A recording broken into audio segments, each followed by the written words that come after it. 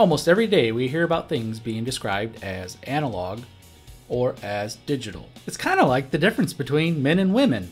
No, wait, this is the wrong channel for that. Instead, it's like old cell phones which used to be analog, but now they're all digital.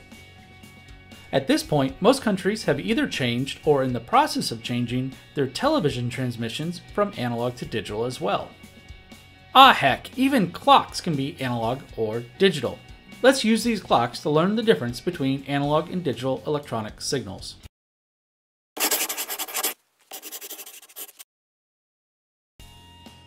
Even though there are only 12 numbers on the face of this clock, you can always tell how many minutes have elapsed just by looking at how far the minute hand is between the two numbers.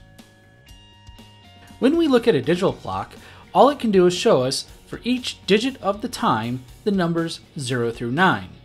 Even if we zoom in really, really close, we can't see how close the clock is to flipping to the next digit.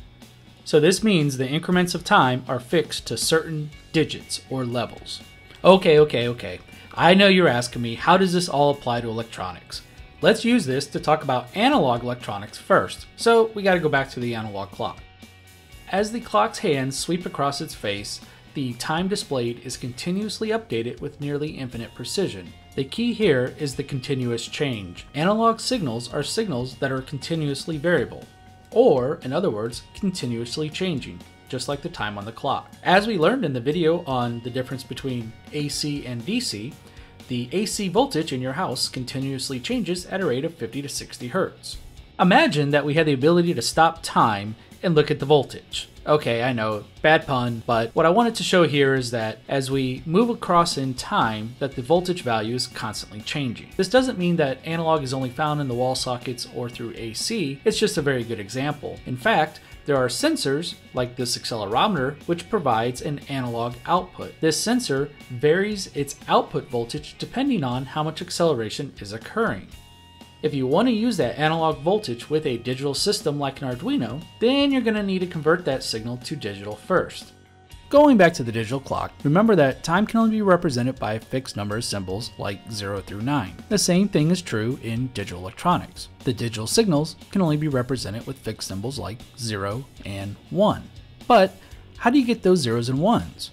Well, it turns out that they're formed from voltage. Digital signals can have both a high level and a low level. And so what this means is that at 0 volts, the signal is considered a digital 0, and then at some high voltage, say like 5 volts, the signal is considered a digital 1. As it turns out, digital isn't quite this absolute. Depending on the transistor technology being used, there is a range that the signal might be considered a 0 or 1. For example, on this Arduino Uno, a digital 0 is considered 0 volts up to 0.5 volts, while a digital 1 is anywhere from 3.5 volts up to 5 volts. And so there's these two bands where there's the low and the high. The area between the low and the high is an undefined area. A digital signal with a voltage in this zone could either be considered a 0 or a 1. Because digital logic needs to have a value associated with it, this undefined region will get turned into 1s or 0s. Problem is, we can't always predict which one that they will be.